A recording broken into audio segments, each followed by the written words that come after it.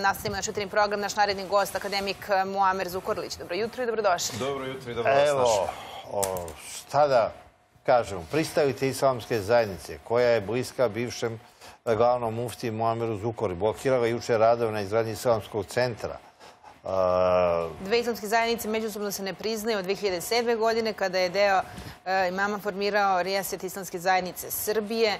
E, međusobni sukobi su prisutni godinama unazad. paraverski sukob, e, tu je bilo i stradanja, i eksplozija, i pucnjave. šta se zapravo dešava? Šta se juče desilo? Pa juče Čekaj, se... je ovo taj snimak gde, gde je taj objekt? Dešavanje u Novom pazaru. Jeste, Vjerovatno, to. da, jeste. Dakle, juče, juče se desila još jedna od posljedica upravo e, te nepravde koja se učinila 2007. godine kada je nasilno pokušana, e, pokušano cijepanje islamske zajednice, nažalost uz podršku tadašnjeg, tadašnjeg režima koji je to smatrao da je politički zgodno i da je za Srbiju dobro da su muslimani slabi, da su posveđani, da im se islamska zajednica cijepa. Pravno gledano, tada je država, dakle, svojim ponašanjem e, omogućila kršenje Ustava i zakona. Ustav je vrlo jasan, znači sve crkve i vjerske zajednice su ravnopravne. Po zakonu o vjerskim zajednicama država je dužna da pruži zaštitu e, dakle, e, funkcionisanju e, islamske zajednice, isto kao što je to obavezno da uradi Srpskoj pravoslavnoj crkvi. Mene stvarno nejasno mi ne mogu da se pomirim s time da i dalje se pokušava predstaviti normalno taj dvojni standard. Ako se desi nešto slično u, pokušaju Srpskoj pravoslavnoj crkvi, sva država, sav državni aparat je tu da zaštiti. Vi znate te pokušaje sada sa već pokojnim raščinjenim vladikom Artemijem, kada je pokušao formirati para- paralelnu crkvu. Tada, zašto tada E, sad, država nije kazala to je unutarnje pitanje crkve? Drugo, vidjeli ste litije u Crnoj Gori, vidjeli ste kad se desilo nešto što je crkva smatrala da je ugrožava. U drugoj državi mi smo, mi smo dobili znači, iz Srbije e, punu podršku Srpskoj pravoslavnoj crkvi i tako dalje. Mi, s obzirom na zakon, s obzirom na naš status, s obzirom na pasoš, na državljanstvo, mi smo građani ove zemlje i za, mene je neprih, za nas je neprihvatljivo e, dakle da imamo duple aršine. Znači da se islamska zajednica prepušta sebi, da jedna grupa ljudi za koje stoje političari i tada i sada, čak i neki strani faktori, hoće da eto tako jer su nezadovoljni formiraju drugu zajednicu. Pa to tako ne može. I ovo je posljedica toga. Znači, nažalost, dakle, tadašnje vlasti, Tadićeva i Koštuničina su agresivno razbijali islamsku zajednicu. Sadašnja vlast, do duše, to ne čini. Ona je tu napravila jedan korak, ne, nemamo direktno od, od, od, od vlasti, odnosno od države Ali mislili smo da nema sukoba, da, da su ovakve stvari bile Ne, one su gurnute po tebi. Dobro, nije ovo sukob, mislim. Ne, Šta je se ovo? Šta ovo se- je prenapuhano, mislim. Ali Ovdje Jednostavno, kažu da je to izgranje, e, blokirani su radovi na izgradnji islamskog centra zato što oni tvrde da tokom izgradnje uzurpirano dobro koje je sastavni deo velikog groblja. Tako je. Sastavni dio velikog groblja, u stvari to je to dobro, ta parcela se je vakufska parcela, čiji je vlasnik legalna i legitimna islamska zajednica. Sada ova paravjerska grupa koja je podržana sa raznih strana... Ko njih podržava? Pa oni imaju podršku, dakle, Ugljanina Ljajića i nekih faktora iz Turske. Dakle, to je njihova podrška i tu po svaku cijenu pokušava da se taj paralizam održi da bi se muslimani i islamska zajednica slabili. Međutim, to nije islamska zajednica i to nikad neće biti islamska zajednica. To će biti kad tad ugašeno. Ovdje Ali je kad problem... je 2007. godine došlo do prvih sukoba, e, iza toga bio je politička volja da se sruši štih. Tako je, to je, dva, dva motiva su bila. Jedan je bio taj personalni jer se, jer se To je baš bio udarac na tebe. Tako je, e, jer sam ja simbolizirao taj napredak islamske zajednice. Ja sam tada za Ti si 23 proglašen tad godine... za ekstremistu, za Naravno, e, korištena su sva povezane sredstva. sa islamskom državom, ko zna s kim. Dobro, islamska zajednica tad nije pozdrav, nemoj baš Ali tako. da si osnivač. Nemoj. Ne, ne, nego e, ja sam naravno u obračunu prema meni su korištena sva sredstva i, razne kvalifikacije, ali suština je bila u tome da je pod mojim vođstvom ta islamska zajednica doživjela ekspanziju i postala najorganizovanija, najbolja, najmodernija islamska zajednica u Evropi, a i cijelome svijetu. I onda po onom stereotipu iz Beograda, e, ovi muslimani, ko zna ko su, ko zna šta su. Šta to rade i ako, što se. Ako ne možemo da ih nema, onda najbolje bilo su slabi. Hajmo, zavadi pa vladaj. To je dakle ta matrica bila, tada su Koštunicu ubijedili u to, tada su Ugljani i Koštunica bili saveznici, onda su isto tako po istoj matrici dobili neke saveznike u Turskoj, opet političke, kojima su kazali ovaj Zukorlić neće nikog da sluša, on je previše tvrde kičme, bolje mi da nađemo nekog Zilkića, nekog Nasufovića. Tada nije bio cilj da se pocijepa islamska zajednica, već da se otme islamska zajednica. Ne, Ali mi nismo dozvolili. izbaciti iz Tako je, islamske. potpuno, potpuno izbaciti. Čak su meni tada su pokušali neki pregovori, mi smo bili na pregovorima u Ankari, pa u Istanbulu i tako dalje. I oni su tada nudili neka rješenja. Ja sam čak, Čak su pristao. nudili da napustiš zemlju. Sa- Ne, ne nudili, nego to je bilo jedino rješenje. Da napustiš zemlju. Da To ne budem u Sandžaku i Srbiji nikako. Znači, sva rješenja druga, ja sam prihvatao neka rješenja. Evo kao što prvi uslov je bio da ja odem sa čela islamske zajednice. Evo ja sam otišao sa čela islamske zajednice. Ali to nije bilo dovoljno. Nego je trebalo da ja nestanem, da odem iz, iz ovaj, nuđena su mi razna rješenja, ali sva rješenja koja su mi nuđena jesu bila van ove zemlje i van Sandžaka, iz razloga što računaju da je taj moj uticaj, autoritet Da toliki ovde da čak pretnja. i da ne radim ništa, da budem Da obični muezin u džamiji, da budem šta god, da sam ja po njihove interese smetnja. I zašto? Zato što mene vjernici, kako oni kažu, slušaju i kad nisam na čelu zajednice i kad jesam na čelu zajednice i to je bilo jedno I rješenje. šta Naravno, god se dešava tamo, ti si iza toga. Kao što vidite. Kao što Evo, vidite, sad si znači- optužen. e, bilo je dosta e, sukoba, ubistava, e, ratovali su dve suprotstavljene struje u... Nije bilo ubistava, nemojte. Znači, ubistva su se dešavala u ratu između Ugljana i Ljajića. Nemojte da brkate te pojmove.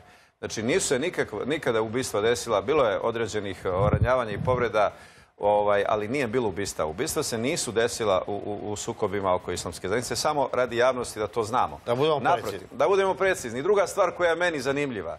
I, e, dakle, meni je logičnije bilo da ste me pozvali e, prije dva dana, kada, kada je bila pucnjava ispred policijske uprave u Novome pazaru.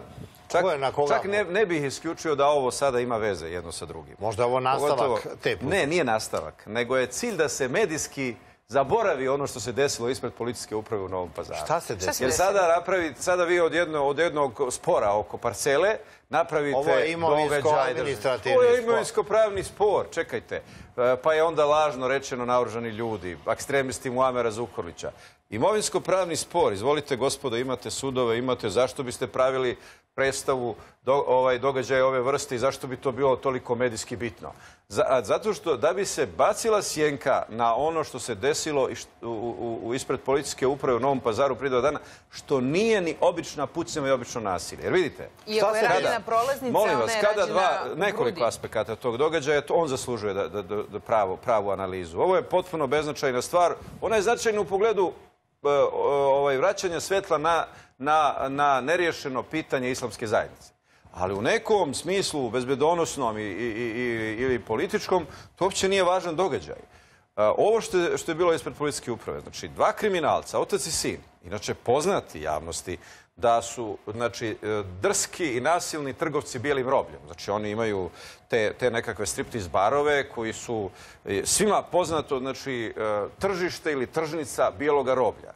Oni su pucali, i vidite kada se ti kriminalci odluče da u sred bijela dana, u najvećoj gužvi, na 20 metara od policijske uprave, malte ne na platovu policijske uprave, pucaju sa ciljem likvidacije nekog ko- koga su, ovaj, koji im je nešto zasmetao, to nije samo obična pucnjava, to nije obično nasilje. Naravno da je broj jedan i najbitnije to što su oni pogodili nevine građane, gdje se jedna žena, gdje je bila čak i u životnoj opasnosti određeno vrijeme. To jeste uvijek ključno, ali Suštinski gledano, znači to je demonstracija sile neviđenih razmjera. To je poruka policiji, to je tolika bahatost, to je držanje lekcije svim građanima Novog pazara i Srbije. Mi smo jači od svih vas. Mi se ne bojimo da pucamo pred policijskom upravom, pred policijom, pred kamerama policije. Dakle, Namerno su zamislite. pucali. Pa naravno da je namjerno, to je, to je tipični teror. Znači, to je cilj slanja poruke da, na, da niko... Ne može nam niko ništa. Svako ko nam stane na put. I zašto, na primjer, evo, neko je napisao ovaj, iz nekih medija ekstremisti Muamera Zukorlića zauzeli parcel, još naoružani i tako dalje. A čekaj, zašto se niko ne pita čiji su ovi kriminalci što su pucali? A vjerujte, ne čiji su. Možete fotografije vidjeti čiji su. Znači, oni su nečiji, to ne samo nečiji simbolički, jer iz simboličkih odnosa se ova moć ne crpi, nego su oni i politički, i bezbjedonosno, i ekonomski nečiji. E to su teme, teme koje mi, s kojima ovdje mi treba da se, da, se, da se bavimo. Znači i tome ukoliko država nestane u kraj, a to je ono što ja ako pratite nastupe u Narodnoj skupštini, ja o tome govorim već peta godina. U Novom pazaru i Sanđaku kriminalci su najvažnija kategorija. I to je naš najveći problem. Zato što imaju direktne partnere u političkoj vlasti Novoga pazara i još nekih drugih opština, zato što imaju e, ortake, Ima, partnere... imaš li ti svoje kriminalce kao drugi? Uh, izborna baza je najvažnija među kriminalcima. Mariću, ovaj, ja znam da, bi, da, znam da evo, ovaj, nekada si provokativan, a sada te razumijem. Znači, pitam iskreno, s obzirom da brinem za svi, tebe. Da, s, obzirom da svi imaju, onda bi logično bilo valjda ja da imam. I vjerojatno da nemam ovaj, ovaj duhovni odgoj. I ovaj etički odgoj, vjerojatno bi i ja upao u tu zamku. Jer ako su kriminalci ima svoje kategorija, onda bi ja trebao imati svoje kriminalce. Ja da nisam ideološki, duhovno i etički protiv kriminala i protiv kriminalaca, a znate i sami da jedini ko govori permanentno i dosljedno, od kad se znamo e, u kontinuitetu i, i, i ne selektivno, dakle, da sam to ja. Prema tome, e, dakle, ono što jesam ja pobrkao tim kriminalcima, prvo personalno, a i potom svi ljudi koji su oko mene, ne bojimo se. To je suština, jer kriminalci su inače jedna vrlo kukavička kategorija. Oni zato žive u čoporima, zato oni, zato oni ovaj, e, vrše nasilje, ali selektivno. Evo i, to u Sanđaku. To se uvijek izračuna ko, e, gdje ne može da se osveti, gdje nema. Ali zabrinjava, ta informacija koju ste upravo malo pre rekli. Otac i sin dobro poznati a, po tome kakav istorijat imaju, a, koji su njihovi učinci, da su oni trgovci belim robljem, a oni su upravo ti koji slobodno šetaju na ulici. To je generalno problem današnjih Ma ne da kriminalaca. slobodno šetaju, oni izazivaju Oni su zaštićeni, oni vladaju, ljudi moji, oni vladaju Novim pazarom. Oni vladaju i da ih nije mene, e, moje političke stranke, islamske zajednice, to su jedini faktori koje oni nisu stavili pod kontrolu. I zato smo mi problem. Zato smo mi po tim standardima remetilački faktor. Jer ti kad ne dozvoljavaš da se uspostavi apsolutni monopol u kriminalu i korupciji, vi ste remetilački faktor. Ja priznajem, ja sam e, ponosan što sam remetilački faktor kriminalcima i korumpiranim političarima. Dakle, to je, ja se time ponosim. Iako mislite to da ih možete pobediti? Ma, prvo, prvo mi ili ja e, borimo se iz ubjeđenja neovisno kakve su nam šanse za pobjedu. Jer po- kada pripadate, kada, kada smatrate da je nešto apsolutno zlo, vi onda ne kalkulirate pobjedom. I ovdje je problem što se mnogi građani povlače čak i strukture vlasti pred kriminalcima zato što ih smatraju prejakim. Dakle, ja, ko- kod mene i kod nas je to drugačije. Znači, ja se borim protiv zla i kriminala i svih zala drugih, ali u ovom slučaju kriminala, neovisno o kalkulaciji o pobjedi. Pod jedan. Pod dva, naravno da sam siguran u tu pobjedu iz razloga što to je isto kao, kao recimo kad imate neku bolest, vi, vi ne kalkulišete, e čekajte pa hajde da se predam. Dakle, e, mislim da je i do sada ovo što, što se borimo pokazalo da su oni da su oni slabi i da oni je njihova jedina šansa ukoliko njihov teror uspije da da rezultate, ukoliko vas uplaše. Glavno je da vas ne uplaše. E, tako da, evo, ovo što radimo... Kraj, kraj, idemo, pošto je ti čovjek visoke kulture, ja svaki tvoj dolazak koristim za neke konsultacije, za neku ekspertizu, uh, umetničku, naučnu. Moji prijatelji kupuju razne antikvitete, knjige po Evropi ili ja putujem Beč, Cirih, Sen Galen. Evo iz Sen Galena je stigla jedna stranica Kurana sa zlatom da vidimo iz kog je perioda, a sad idu reklame. Aha, ovo ćete uh, da Sad da se isključi, reklame. Hajmo se isključimo. Ništa žao, mi idemo na FPP. Hoćemo se vratiti da vam Hvala. Hoćemo prilike da vam protumačim šta piše. Zanima li E, vas? sad, Sad, ovo. on, ne, odnosno na reklamu. Ovo smo, a da, to bez, bez. Ovo je to? A ne vraćamo se u program. Ne, ne, ne. A, okej.